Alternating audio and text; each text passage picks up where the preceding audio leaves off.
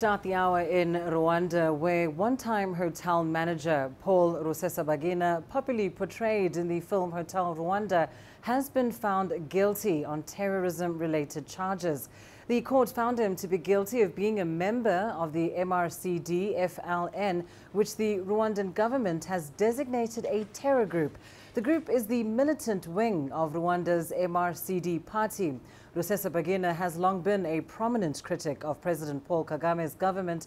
He launched into global fame after Hotel Rwanda portrayed him as a hero during the 1994 genocide. He was arrested last year on arrival from Dubai.